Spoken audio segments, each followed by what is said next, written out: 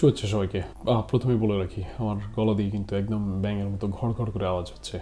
ঠান্ডা ঠান্ডা লেগে গলার অবস্থা খুব খারাপ। সারা সপ্তাহ মিটিং ছিল অনেক চিল্লাচিল্লি করতে হয়েছে একটা ওয়ার্কশপ ছিল সো সব কিছুতে গলার অবস্থা প্রচণ্ড খারাপ। মাইক্রোফোনটাকে যতটা সম্ভব আমি চেষ্টা করছি মুখের কাছাকাছি নিয়ে কথা বলার। I hope I am audible enough আজকে আমরা কথা বলব আরও একটা প্রাইভেট ইউনিভার্সিটি নিয়ে যেহেতু আমার খুব কমেন্টস দেখি স্টুডেন্টরা বেশি আমার কাছে জানতে চায় যে ইউনিভার্সিটির রিভিউ ইউনিভার্সিটির পড়ালেখা বা আমার ফিডব্যাক এগুলোই বেশি কোয়েশ্চেন থাকে। সো আই থট যে আজকে আরও একটা ইউনিভার্সিটি নিয়ে কথা বলা যাক। ইস্ট ওয়েস্ট ইউনিভার্সিটি নিয়ে কথা বলব আজকে আমরা। একটা ডিসক্লেমার দিয়ে রাখা ভালো যে আমার এই চ্যানেলে আমি যে ইউনিভার্সিটির যে রিভিউগুলো করি, এগুলো কিন্তু খুব সারফেস লেভেলের information and these are purely based on the website data বা ফ্যাক্টস এখন আমি স্টুডেন্টদেরকে ডেফিনেটলি সাজেস্ট করব যে you should do your own research as well not purely based on my opinion যে আমি যেগুলো বলছি তার উপরে don't just entirely take my word for it do your own research কেন ওয়েবসাইটে অনেক সময় দেখা যাচ্ছে ইউনিভার্সিটির আপডেটেড ইনফরমেশন থাকে না হয়তো। সো এনিওয়ে আজকে ইউনিভার্সিটি ইস্ট ওয়েস্ট ইউনিভার্সিটি নিয়ে কথা বলা যাক।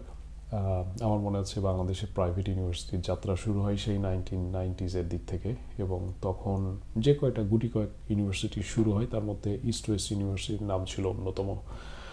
বাংলাদেশের আহ, এক সময়কার governor doctor Mohammad Farashuddin তিনি একজন বিদ্যুৎসাহী একজন মানুষ এবং আরও কিছু এডুকেশনাল এনথুজিয়াস্টকে নিয়ে তিনি Pragati foundation for education development বলে একটা নন প্রফিট একটা অর্গানাইজেশন ক্রিয়েট করেন। উদ্দেশ্য ছিল যে এডুকেশনকে স্প্রেড করা।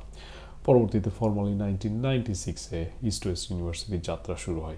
ক্যাম্পাসটা ছিল সেই মহাখালীতে একটা আরবান একটা campus but now it is আফতাবনগরে তাদের বেশ বড় একটা নিজস্ব ক্যাম্পাস আছে। So definitely East West University বলা যায় যে যে রেপুটেশন এর যে হিস্টোরি একটা রিচ একটা হিস্টোরি আছে এবং এর পেছনে অনেক অনেক স্কলার সব এবং বিদ্যুৎসাহী মানুষজনের কন্ট্রিবিউশন আছে। So, in terms of its reputation, undoubtedly it's one of the top private universities in Bangladesh. এবারে এস টু এস্ট ইউনিভার্সিটির পড়ালেখা এবং ফ্যাকাল্টি ডিপার্টমেন্ট এগুলো নিয়ে একটু অ্যানালিসিস করা যাক। এস টু এস্ট ইউনিভার্সিটির তিনটা ফ্যাকাল্টি আছে।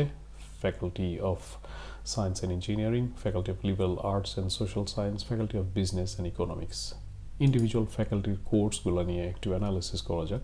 যেমন প্রথমেই আসে যে faculty of science and engineering faculty of science ইঞ্জিনিয়ারিংয়ে বেসিক যে কোর্সগুলো হয়, যেমন electrical engineering computer science electronic communications engineering civil engineering mathematical and physical science পড়ানো হয়।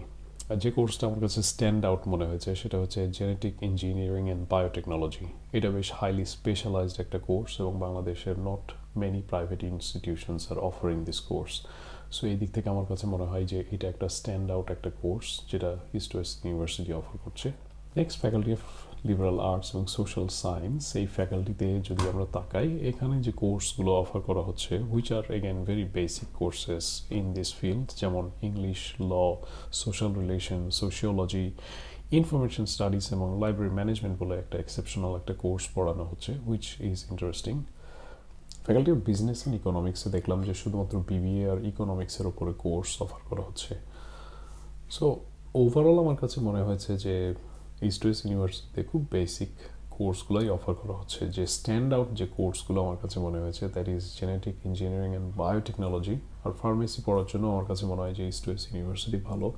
তো বিজনেস ডোমেনে আমি একটু সারপ্রাইজড হয়েছি দেখে যে এখানে খুব বেশি স্পেশালাইজেশন বা ভ্যারিয়েশন নেই।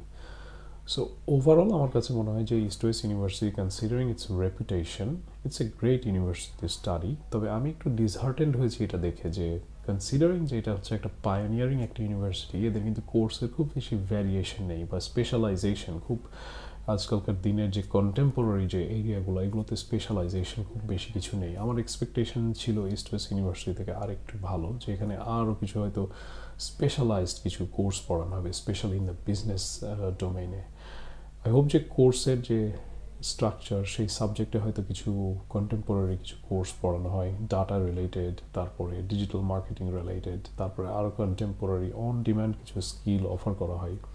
বাট ওভারঅল আমি যেটা দেখলাম, সেখানে খুব বেসিক টাইপের কোর্সগুলোই পড়ানো হয়। But in terms of quality I certainly think যে East West University is a great university এবং বেশ অনেক স্কলার আছে এখানে। Uh, with PhDs from foreign universities. So obviously কোর্সের কোয়ালিটি ভালো হবেই। আরেকটা বিষয় আমি একটু কমেন্ট করব সেটা হচ্ছে যে একটা ইউনিভার্সিটির ওরিয়েন্টেশন টুয়ার্ডস ইন্টারন্যাশনালাইজেশন আমার কাছে মনে হয় এই ক্ষেত্রে ইস্ট ওয়েস্ট ইউনিভার্সিটির এখনও it has to go a long way যেখানে other institutions like Daffodil BRAC University NSU they have an orientation to become a global institution. They are trying to hit their mark in the times ranking, তারপরে অন্যান্য sustainability ranking এবং অন্যান্য world র্যাঙ্কিংয়ে আসার চেষ্টা করছে। সেখানে ইস্ট ওয়েস্ট ইউনিভার্সিটি আমার কাছে মনে হয় একটু পিছিয়ে আছে। তাদের কোনো র্যাঙ্কিং নোটেবল কোনো নাম কখনো আমি দেখতে পাই না। সো এখানে ইউনিভার্সিটি ডেফিনেটলি অনেক কিছু করার আছে। ইন্টারন্যাশনাল স্টুডেন্টদেরকে অ্যাট্রাক্ট করা এবং ইন্টারন্যাশনালাইজেশন এক্ষেত্রে আমার মনে হয় definitely East West University should concentrate তাছাড়া স্টুডেন্টদের ইন্টারন্যাশনাল কোলাবোরেশনের সাথে কানেকশন করিয়ে দেওয়া লাইক ক্রেডিট ট্রান্সফার অপরচুনিটি বা এক্সচেঞ্জ স্টাডি অপরচুনিটি এইগুলো ক্ষেত্রে আমার মনে হয় ইস্ট ওয়েস্ট ইউনিভার্সিটি কিছুটা পিছিয়ে আছে। So as a local institution with some great reputation আমার কাছে মনে হয় East West University is great একটা বিষয় সেটা হচ্ছে খুব গুরুত্বপূর্ণ ইউনিভার্সিটিগুলোর ক্ষেত্রে, সেটা হচ্ছে যে ইন্ডাস্ট্রি কানেকশন এবং creating a pathway for the graduates towards employment opportunity এক্ষেত্রে আমার মনে হয় East West University has a strong industry connection based on their website information এবং এর আগেও আমার অবজারভেশন থেকে আমি দেখেছি যে ইস্ট ওয়েস্ট ইউনিভার্সিটির বেশ ইন্ডাস্ট্রি অ্যাফিলিয়েশন খুব ভালো।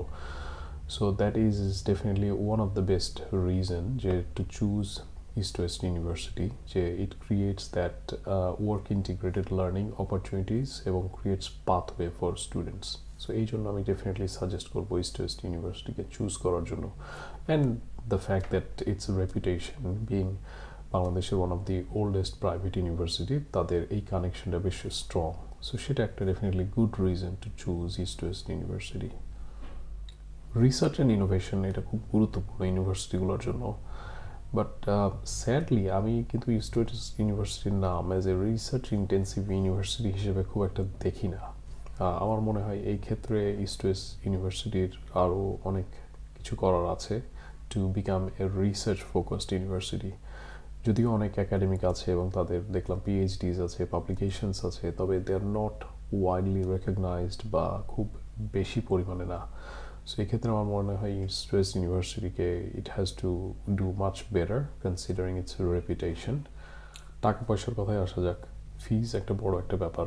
কারি টাকা দিয়ে প্রাইভেট ইউনিভার্সিটিতে পড়তে হয় এবং নট সারপ্রাইজিংলি ইস্ট ওয়েস্ট ইউনিভার্সিটির ফিজ হচ্ছে বেশ মোটা অঙ্কের।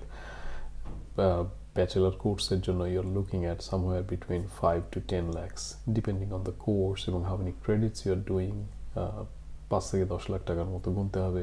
এম এর ক্ষেত্রেও সেই প্রায় দেড় থেকে দুই লক্ষ টাকার মতো গুনতে হবে।